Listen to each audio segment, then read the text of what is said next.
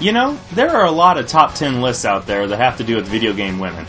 And a good chunk of them have Lara Croft, or Chun-Li, or Samus on them. But what about the overlooked video game women? You know those ones that aren't really talked about that often, if at all? That'd make a pretty interesting list, right? But I do have one rule. If I talk about a video game that has multiple overlooked women on it, I choose one to represent them. And with that being said, I'm Kyle Universe, and this is Filmtricity's Top 20 Overlooked Video Game Women, numbers 20 through 11. Number 20.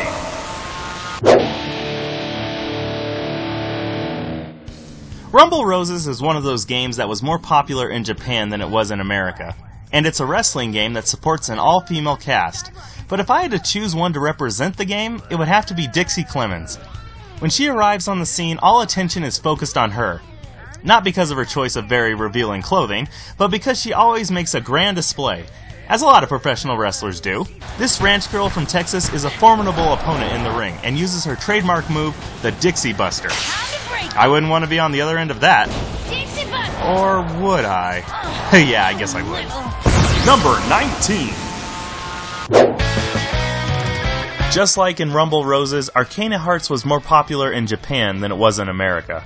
And one of the coolest characters was the half human, half demon Batgirl, Lilica Felchenerow.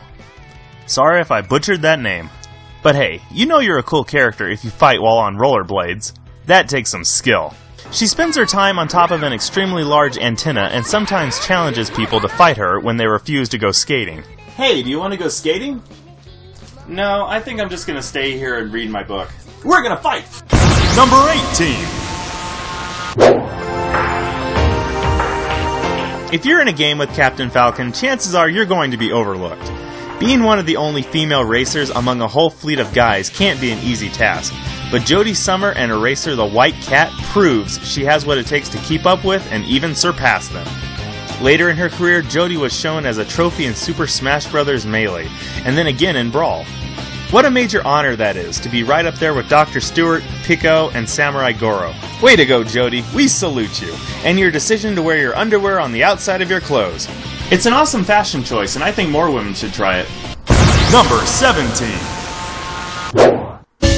Ah, Mario Golf. What a fun game this is. But how could anyone from Mario be overlooked? Well, besides a trophy in Melee and a sticker in Brawl, do you ever see Plum ever again? No. No, you don't. What's interesting is that originally Plum was going to be related to Princess Peach. Do you see where they're going with that? Peach, Plum. Yeah. Can you imagine if your entire family was named after fruit? Ah, Grandma Apple, Grandpa Watermelon. Oh, crazy Uncle Pineapple, bring it on in here. But if you're looking for a well balanced character in Mario Golf, choose Plum as your starting character. Number 16.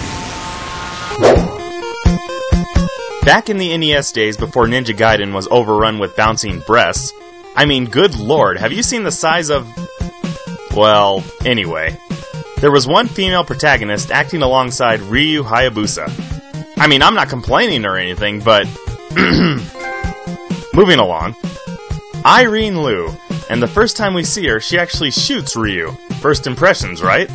But it was only to tranquilize him. As it turns out, she's a member of the CIA and she helps Ryu out by giving him a dragon statue. But of course, she gets captured and has to be saved. But after Ryu does the hero thing, they both share a nice moment on top of a mountain. You go, Ryu. Number 15. This schoolgirl, Yoko Asoyo, and I'm probably pronouncing that wrong, is given a special weapon called the Valis Sword. With this powerful sword in hand, she became the hero of Dreamland. Not Kirby's Dreamland, mind you, even though that would make an awesome crossover. And as the hero, she faces the usual problems, such as fighting through hordes of demons, preventing the Dark World from going into nether space, being watched while sleeping, leading up to running through the streets in her pajamas to get her sword back. But once she retrieves her sword, like He Man, she has the power. And now these giant bugs and items floating in the air don't stand a chance. Neither does this guy. Honestly, I don't know why she isn't around today. She was flying high 20 years ago with three games on the Sega Genesis, but then she just disappeared into video game history. But her games will always live on in the hearts of the fans. Number 14.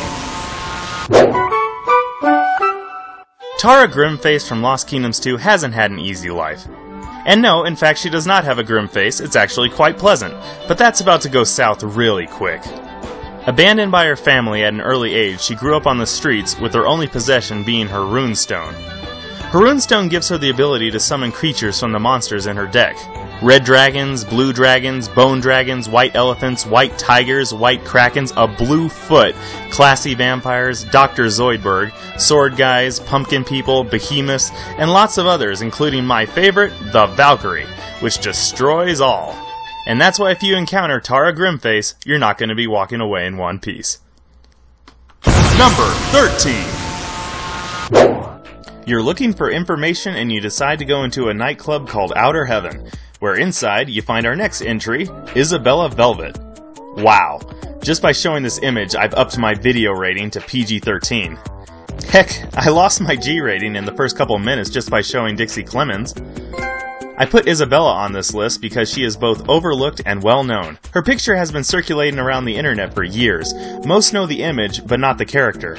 In the game Snatcher, she provides you with information you need. What a way to get information in a video game, huh?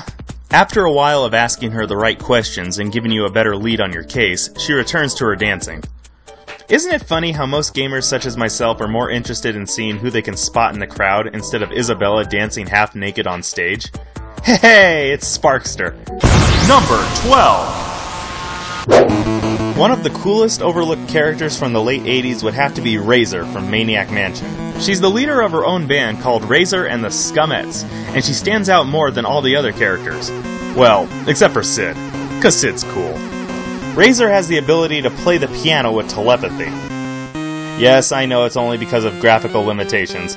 Had this been made today, I'm sure they would have had a fully animated scene of her playing the piano. And she's got more balls than all the guys put together. Uh, well, except for Sid, of course. She will actually steal Weird Ed's hamster and put it in the microwave until it explodes. Oh, man, that's epic.